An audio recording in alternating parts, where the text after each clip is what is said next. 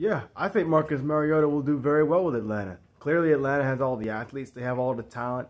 Um, they have wide receivers, tight ends like Kyle Pitts, Calvin uh, Calvin Ridley there. So I think he'll do just fine. There's no doubt about that. As far as the offensive line, I think they'll block enough for him, pretty well for him. He's also an athlete, you know.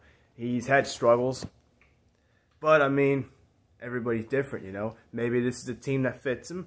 I'm willing to go out on a limb and say he'll do pretty well for the Atlanta Falcons. I think he's a really good quarterback. Um, he's a winner, obviously. He can win games. He can make some money. He can make big plays. Um, we'll see what happens, you know. I don't think it's a huge risk that they have him. What I think they're going to do is have him as a starting quarterback for Atlanta. And they'll probably, excuse me, they'll probably draft another quarterback from the NFL draft. Maybe a Sam Howell or a, a Kenny Pickett guy. Uh, someone like that.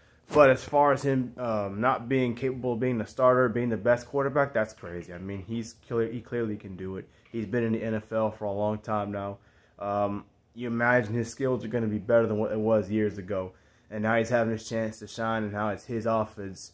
He's probably going to do just fine. And again, he's an athlete. He can run. He's not a Lamar Jackson athlete, but again, he can run fast enough to get a first down when it's third down and long, or at least make it fourth down and manageable to go for it. So third down and manageable. So that's also a big weapon and a, a big key factor in why he's somebody wants him like Atlanta.